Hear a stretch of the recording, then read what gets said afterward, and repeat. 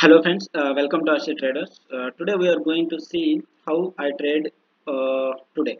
So in this, uh, this is called range, open range breakout.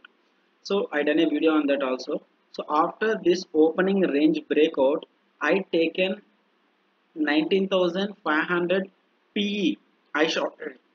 After this move, I taken 19500 call also so because uh, like 500 call and put has little bit uh, good way so after this big move what happens means uh, 500 uh, put becomes very strong and call rating becomes very weak compared to both.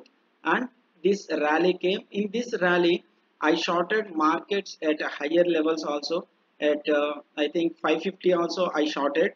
And uh, I taken little bit 600 uh, PE also. So we have like here uh, 500 uh, CE right? So when market moves upside so CE premiums increases. To counter this I taken like 600 PE but this is not a fair trade which we have to do. Why? Because uh, due to world data I locked the range and this overall decay I expected and due to that only I taken like that. So 500 CEPE and uh, sorry 550 CEPE after this move I booked the PE which I taken earlier and 500 CE is open and upside like 600 PE so after this total decay I book my profit at this up move. So 44 EMA is a very good support when market falling.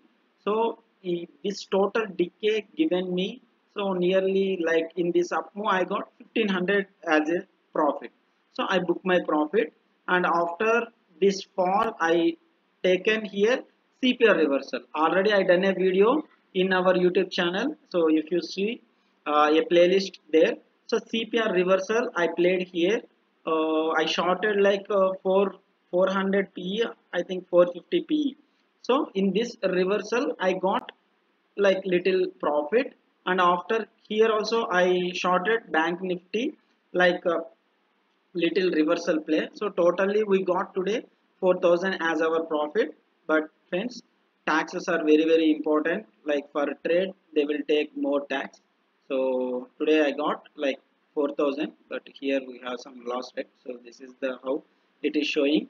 So this is how i traded today. So friends be focused on the entries and exits so due to my past experience i am little fear to go naked in one direction. But when you go one direction then only you are called a trader. So thank you thank you very much